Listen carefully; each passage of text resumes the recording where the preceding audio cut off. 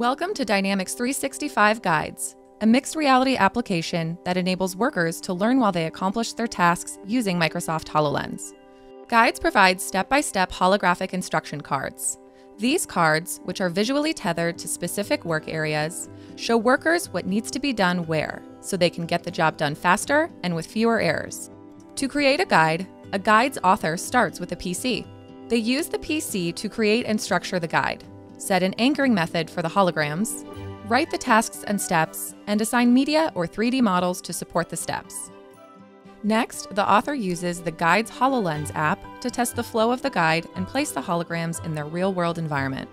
Whether working on the PC or the HoloLens, all content is saved securely in the cloud. When the guide is ready, an operator uses it to learn while doing their work.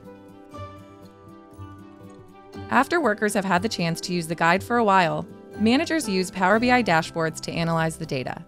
For example, which step of a guide takes the most time? How long does it take to run the guide? Then authors can use these insights to refine guides and improve processes. With Dynamics 365 Guides, you can create a virtuous cycle for your business as authors create guides, operators use guides to accomplish tasks, managers analyze guide usage, and authors refine guides to improve processes. For more information on authoring, operating, or analyzing guides, check out these great videos and our in depth documentation.